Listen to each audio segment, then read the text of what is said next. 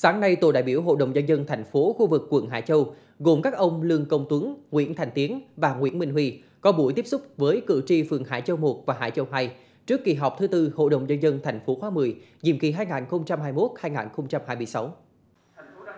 Cử tri phường Hải Châu 1 và Hải Châu 2 bày tỏ sự thống nhất cao báo cáo của Hội đồng nhân dân thành phố về kết quả thực hiện nhiệm vụ năm 2021 đặc biệt đánh giá cao nỗ lực phòng chống dịch COVID-19 của thành phố trong thời gian qua, đảm bảo sức khỏe và tính mạng của người dân. Cử tri hai phường tiếp tục kiến nghị thành phố khẩn trương di dời hai khu tập thể xuống cấp tại số 115 Phạm Hồng Thái và 77 Nguyễn Thái Học. Cử tri đề nghị thành phố có ý kiến với chủ đầu tư khu nhà của Ngân hàng Đông Á, dự án Vũ Châu Long sớm triển khai hoàn thành dự án, trả lại vẻ mỹ quan đô thị đồng thời tăng cường công tác quản lý đô thị, nhất là chứng chỉnh tình trạng đậu đổ xe ô tô hai bên đường gây ảnh hưởng đến an toàn giao thông.